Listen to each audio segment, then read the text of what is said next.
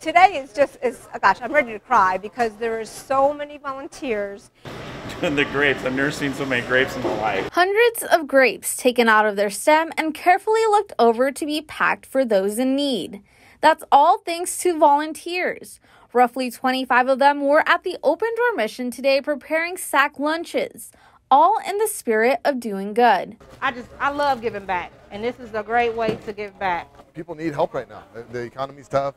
People are having tough times. There needs to be a lot more happiness in the world, and people need to get along. And this is one way that we can help do that.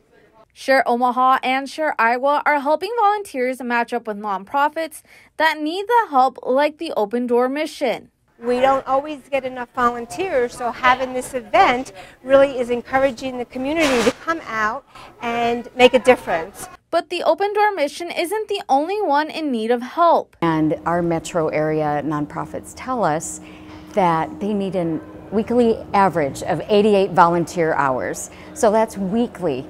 More than 740 nonprofits are also looking for an extra hand all of them hoping you can give some of your extra time.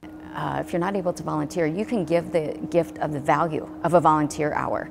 The value of a volunteer hour, the national calculation is $29.95. Those that volunteer today, like Natalie Hawkins, says anything helps. If you're not sure, you know what I'm saying, just think about it. It's a great way to give back. And any, if you can't stay for the whole two hours or four hours, you can come stay as long as you want. Any, any help is appreciated and needed because they help so many and they definitely need all the hands and the help they can get. Come on down and help volunteer. We need you. Reporting Jessica Salinas, Fox 42 News.